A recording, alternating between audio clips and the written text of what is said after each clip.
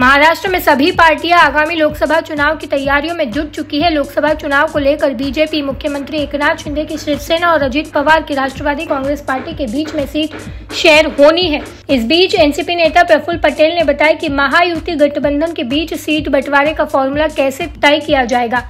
NCP नेता प्रफुल्ल पटेल ने कहा, महाराष्ट्र में महायुति गठबंधन की प्रारंभिक चर्चा हो चुकी है। तीनों पार्टियों में समन्वय के साथ आने वाले दिनों में हम सीट बंटवारे का फॉर्मूला बनाएँगे।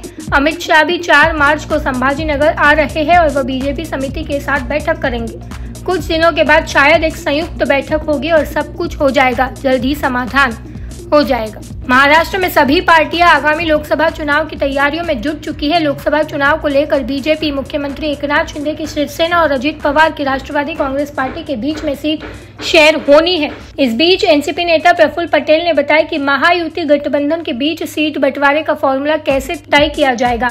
एनसीपी नेता प्रफुल्ल पटेल ने कहा, महाराष्ट्र में महायुति गठबंधन की प्रारंभिक चर्चा हो चुकी है। तीनों पार्टियों में समन्वय के साथ आने वाले दिनों में हम सीट बंटवारे का फॉर्मूला बनाएँगे।